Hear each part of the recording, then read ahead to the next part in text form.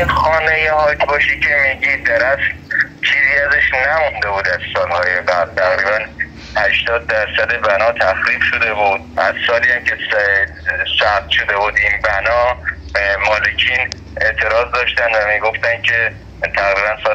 قبل از سال 90 ادعاشون بر این بود که این بدون رضایت ما ثبت شده و پیگیر خارج شدن از ثبت آثار ملی بودن.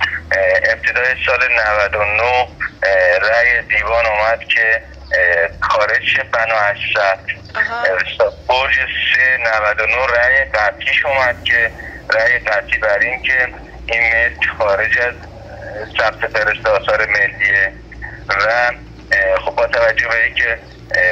اداره میراث فرهنگی هم اعتباری به جهت تملک و به قول معروف گفتنی مرمت بنا نداشت مقاومت داریم. ولی با توجه به اینکه اونجا محل تجمع معتادین و افراد ناجور بود معاون دادستان هم یه مکاتبه کرد رأی به صورت قطعی و خارج شده از ثبت و دیگه روی این حساب به شهرداری هم گفته بود که برای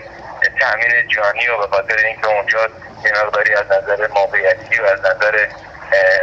حادثه آفرینی خطرناکه دیگه شهرداری هم ما در جریان نبودیم. ما هم دیشب ساعت تقریبا یازده یازده آنیم نمداد شدیم که اونجا رو تخریبش کردن البته تخریب که قبلا تخریب شده و چون مالکین راضی نبودن اونجا درچه فقط اونجا سردر ورود باقی مانده بوده. اگر یه بنایی رو که ما ثبت کردیم ازش چیزی مونده باشه یا اون آثارش یا اون بالاخره اون شاخص اصلی که داره از نظر ثبتی اون ثبت کردن ماندگار باشه معماری نقاشی یا چیزی اون رو فرمایش شما درسته ولی با توجه به اینکه تخریب شده بوده و چیزی از بنات تقریبا